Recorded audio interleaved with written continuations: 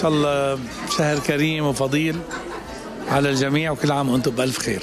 كل عام وكل الوطن العربي بألف خير. رمضان كريم للجميع.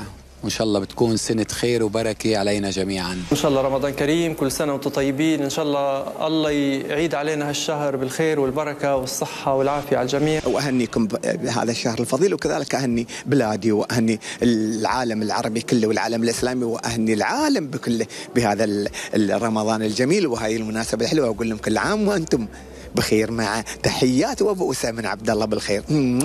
رمضان كريم. بس لقاءنا مع عبد الله بالخير ما اقتصر على هالمعايدة فهو حب يشاركنا بطقوسه خلال شهر رمضان.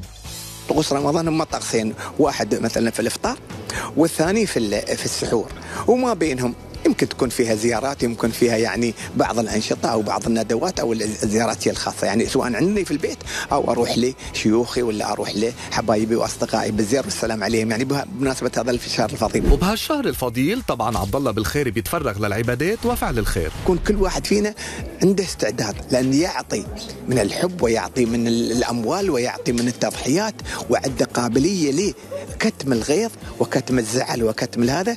ويقول اللهم أني صايم وتمشي الحال بجمال. ولكن في الليل نستمتع. وفي روحانيات مثل ليلة القدر مثلا مثل التراويح. تعرف هاي جماليات؟ هذا الشهر الفضيل. وإلى جانب ذلك عبد الله بيحرص على متابعة المسلسلات وعنده طريقة ليقدر يشوف أكبر عدد منها. عندي في ال- في البيت فيديو يسجل خمس محطات واحيانا بعد ستة في نفس اللحظة.